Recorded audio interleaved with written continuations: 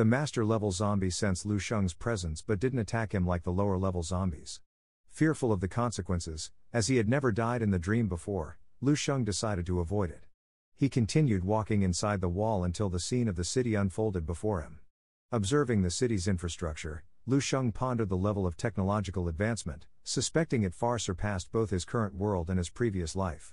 In his world, martial arts had only developed over the past 300 years, still in its early stages. Historical records indicated that when martial arts first emerged, the most powerful masters were only at the fifth level. However, in the present time, humans had many seventh level masters, eighth level grand masters, and even ninth level martial arts saints. Despite this advanced civilization, they were still succumbing to the onslaught of alien beasts, prompting Lu Sheng to wonder about their own fate. Lu Sheng felt a sudden wave of concern. Despite the advancements in martial arts and the emergence of powerful experts in his world, humanity was still locked in a struggle against alien beasts, facing constant pressure and dwindling living space. However, amidst the bleak reality, Lu Sheng saw an opportunity. He realized that this world's failure didn't necessarily mean his world would meet the same fate. By absorbing memories, techniques, and scientific advancements from this advanced civilization, he could potentially make a difference in his own world's fight against the alien threat. His eyes regained their determination as he shouldered this heavy responsibility. The ruins of this devastated civilization had profoundly impacted Lu Sheng, prompting a shift in his mindset. While the city walls teemed with zombies, most were relatively weak, with only a few advanced monsters lurking within. Lu Sheng stumbled upon a house and entered, only to find it deserted. In the living room, a table stood in the center, adorned with scattered tableware. Lu Sheng couldn't help but imagine the family that once dined there, abruptly interrupted by the apocalypse. A sense of melancholy washed over him. Not a single zombie roamed the premises, leading Lu Sheng to speculate that the occupants may have perished due to their frailty, perhaps not even meeting the criteria for zombification. Determined to uncover more about this world, Lu Sheng searched for records. However, the advanced civilization had long forsaken traditional books for more sophisticated means, leaving him empty handed.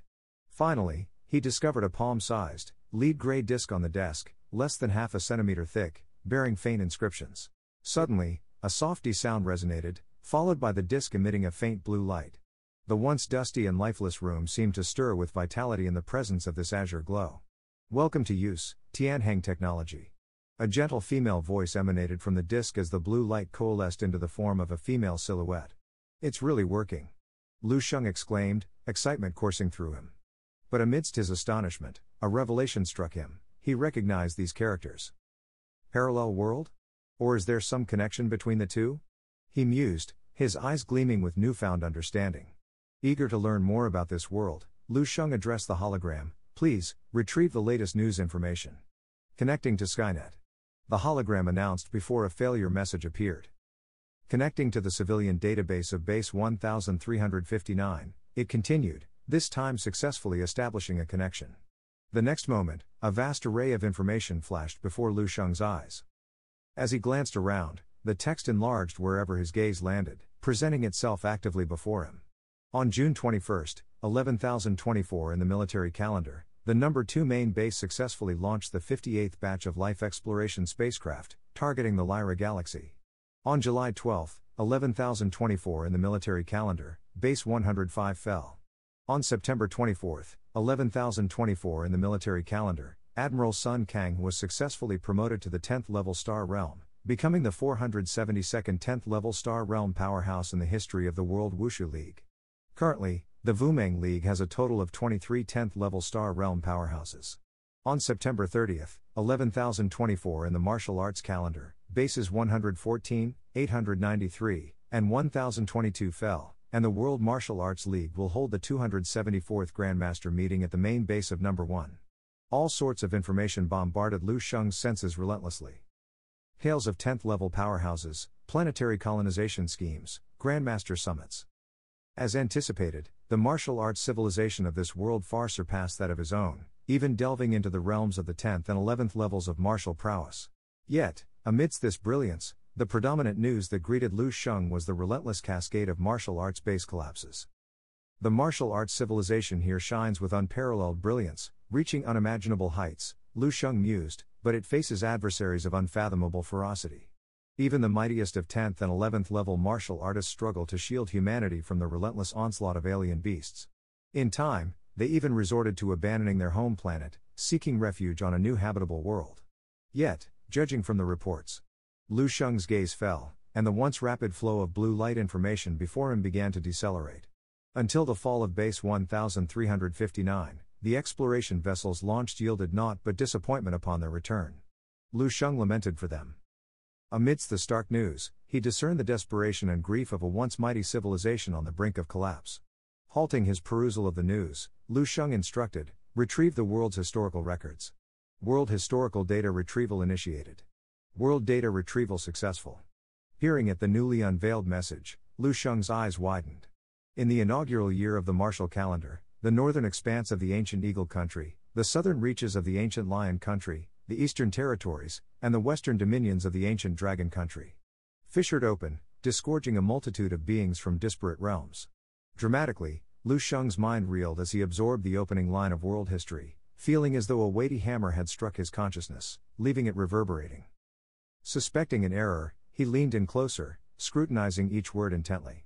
In the 34th year of martial arts, the world witnessed the birth of its first inner martial artist in the Galang Kingdom. Simultaneously, the establishment of the World Martial Arts League marked a significant milestone. In the 42nd year of martial arts, the martial arts classification system was instituted, with Mr. Yang Qianhe, a martial arts master from the Galang Kingdom, attaining the prestigious title of the first five level master in the league. The 104th year of Budo. Lu Sheng sat on the ground, dazed. Known for his composure and inscrutable emotions, his face now betrayed shock and disbelief. Scouring through centuries of historical records, he discovered an unsettling truth the events, figures, and occurrences mirrored precisely what he had learned in history class. The timelines, historical personages, and significant events, all identical. This world, and the world he had known. They were one and the same. The information he had just absorbed didn't depict the rise and fall of another world's martial arts civilization, but rather, the future of his own world. A future spanning 10,000 years ahead, the year 11,024 of the military calendar signifies the impending doom of the world I currently inhabit, destined to be obliterated in over 10,000 years. Consumed by the suffocating black mist, swallowed by the unrelenting onslaught of alien beasts. Lu Sheng's complexion paled as he struggled to accept this grim revelation. Mere moments ago, he had offered a silent tribute to the downfall of a once mighty civilization. Now, he realized he was mourning the future of his own civilization. It may not be definitive. Perhaps it's merely coincidence, or the workings of a parallel world. Lu Sheng whispered to himself, attempting to pacify his racing thoughts. He yearned for more evidence, more concrete facts to validate his suspicions. Turning his focus inward, Lu Sheng delved deeper into history, scouring for elusive clues buried within the annals of time. Lu Sheng tried learning about his own future first. His biography depicted a malnourished 28 year old Lu Sheng, with sunken cheeks giving his face a gaunt and hollowed out appearance. It further stated that he was a civilian who lived until the age of 28 and died a virgin. He had not amounted to anything or achieved anything formed on Lu Sheng's brow as he responded Create a user. Please provide a genetic blood sample. It was truly remarkable that future technology's optical brain required genetic blood samples for user authentication. Uncertain of its efficacy within the dream realm, Lu Sheng extended his index finger, allowing the hologram to bite it and draw blood. Just as Lu Sheng was beginning to wonder if the system had crashed, the optical brain emitted a crisp beep sound. However, instead of indicating the successful establishment of a new user, it declared The human gene blood sample has been detected, initiating the Fireseed project. Connecting to number 1359 Fireseed Resource Library. Connection successful. Privileges enabled. In the next moment, a vast amount of information appeared before Lu Sheng's eyes. Name, Lu Sheng. Sex, male. Lifespan, June 297 in Budo, August 334 in Budo Martial Arts Strength, Level 4 Warrior Available Authority, Level 2 at the top of this information was a photo of Lu Sheng himself. In the image, a middle aged man with a handsome appearance and a resolute face stared back at Lu Sheng. It was a changed from the day he entered the dream world. Lu Sheng realized that the world could be saved and that there is still some hope left. With this, the chapter concludes. Don't miss out on the next installment. Hit that subscribe button and join us for the continuation of Lu Sheng's remarkable story.